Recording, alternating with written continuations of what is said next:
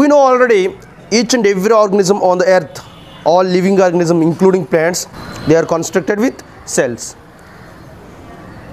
Plant cell and animal cell they have more common parts of cell.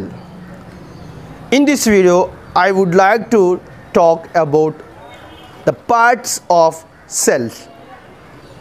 Actually animal cell or plant cell whatever it may be they are contains three major parts in them. The first one is cell membrane or plasma membrane and cytoplasm and nucleus. These three are the major parts of the any cell even it is a plant cell or animal cell. What are the parts?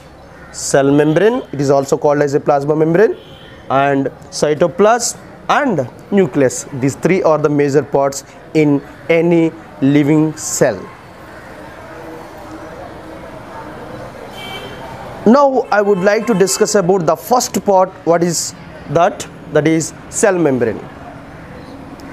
So cell membrane is outer covering of the cell outer boundary of the cell like our home our home constructed with a walls. Walls are protecting layer of the rooms or inside living things or non living things. Like wall cell membrane also one kind of protecting layer around the cell. We know already the walls gives a particular shape. Can you imagine structure of the home without walls is any shape to the rooms without walls? No there is no shape to rooms without walls. Walls gives shape to the home.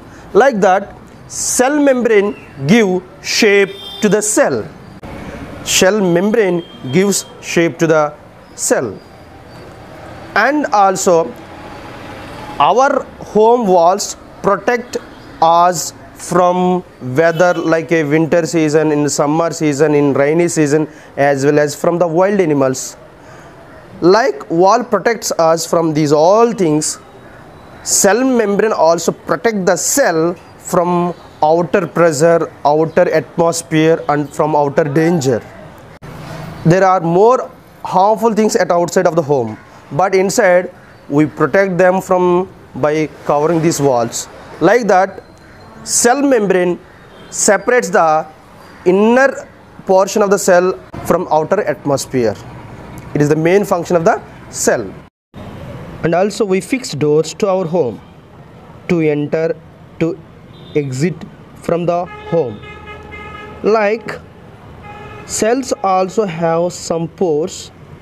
These pores allows substances to enter inside and exit from cell but we will go inside of the home and close the door to not allow the strangers. Like that cells also allow the exchange of only specific substances between different cells and the environment. Cell membrane also allows a particular substances to enter in it. That's why cell membrane also called as a selective permeable membrane so this character is called selective permeability. Do you know in some homes there are small entrances for the pet animals like a dog or cat but there is no allowness of the big or huge animals like elephant or giraffe through the, this hole. They cannot enter into the home through these holes. Like that plasma membrane also contains cell membrane also contains a small pores. This pores allows well allows only a simple digestive useful particles. Our home walls constructed with a bricks yes or no cement or concrete. Like that cell membrane also constructed with or made up of with a two types of the substances. They are called phospholipids and proteins these cell membrane act as a protecting layer of our home i hope you understand about the cell membrane in the next class we are going to discuss about cytoplasm thanks for watching keep smiling. Just recap. The cell is surrounded by a cell membrane.